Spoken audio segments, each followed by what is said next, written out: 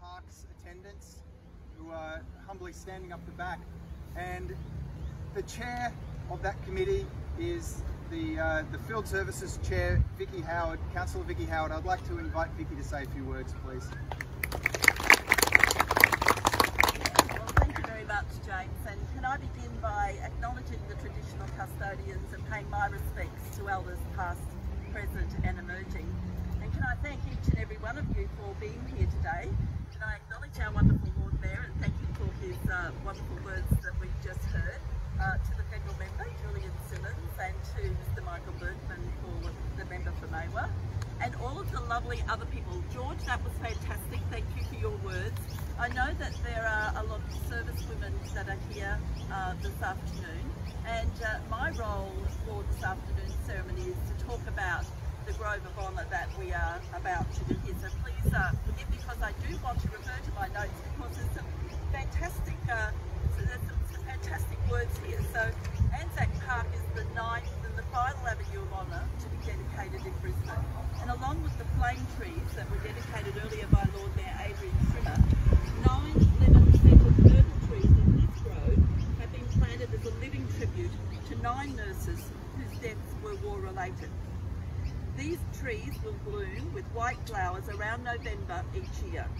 And the white flowers will represent the white pinafore aprons worn by the nurses. Each of these women honoured has a personal connection to Brisbane through birth, undergoing nursing training, enlisting for war service, or passing away in Brisbane. And during World War One, these Australian nurses served in the Australian Army Service, the Queen Alexandra Imperial Military Nursing Service and the Voluntary Aid Detachment. This grove is a living legacy for those nine nurses and to honour all women who have dedicated their lives to caring for servicemen during times of conflict.